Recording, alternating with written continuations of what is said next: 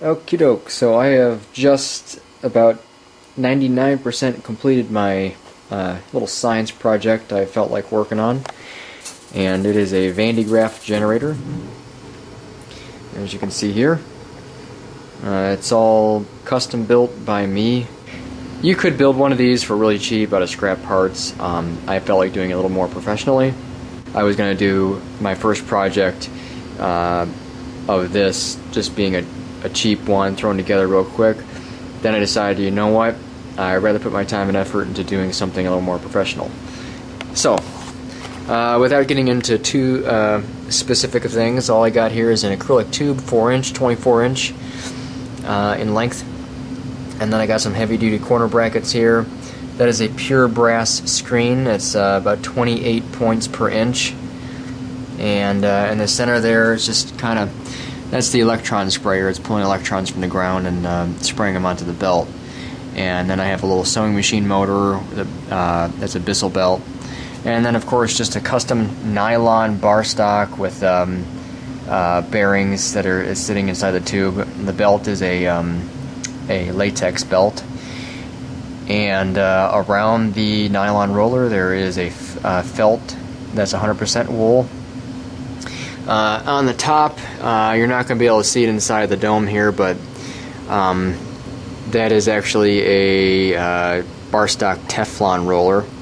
And I may switch to uh, apparently the person who makes uh, ones that looks identical to this are um, uh, Delrin and with a coating of um, contact cement on there.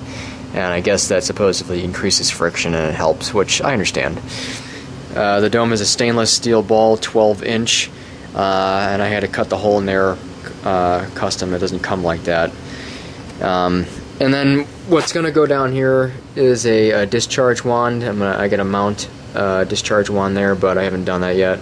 Over here is my speed controller that controls the speed of the belt, uh, which uh, controls how fast it charges up.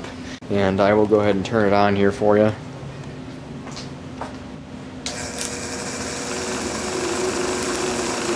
see it's running right now.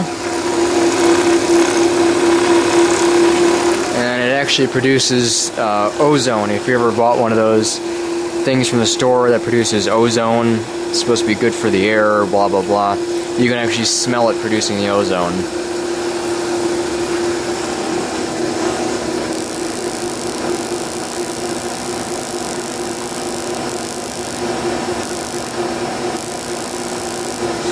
Now this thing can potentially produce about 350,000 volts at about 60 microamps. Um, once I uh, once I get all the kinks worked out, uh, it should start, you know, doing something more amazing than that. okay, so I am going to shock myself with my uh, my new Van de Graaff generator. And it looks like it hurts, but it doesn't hurt as much as you think. It feels like someone flicking you with your finger, that's about it. You see it? Yes. Well, let me zoom in on it more.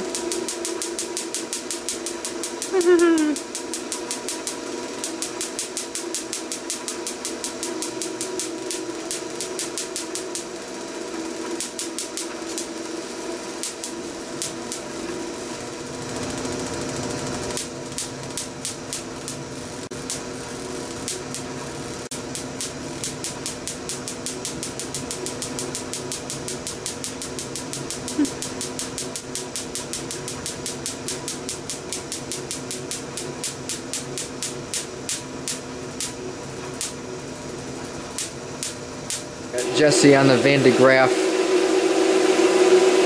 I have showed her that it is safe.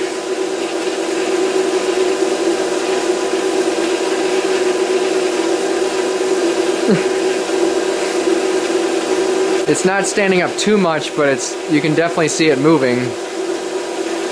It's like wiggling on its own. And I can see what's happening right now, the way your hair is jumping, is it's discharging